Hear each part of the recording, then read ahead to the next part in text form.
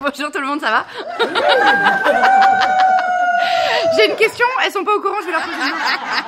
Et en plus, ma question, elle est sérieuse. Qui a vu les infos dernièrement? Pas moi. Toi, c'est quoi les mots qui te viennent là que t'as vu dans les infos récemment?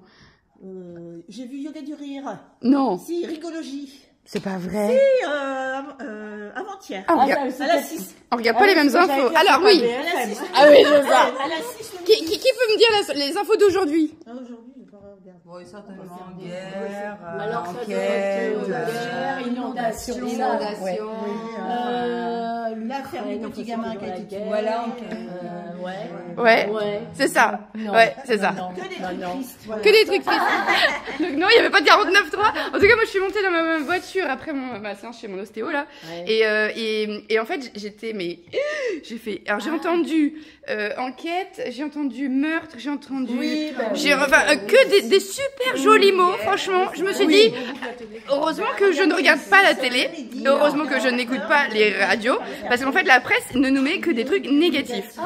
C'est et, et je me suis dit mais je comprends pourquoi il y a autant de dépressifs en fait. Parce que si tu écoutes la, la- la- la- les infos tout le temps, tu...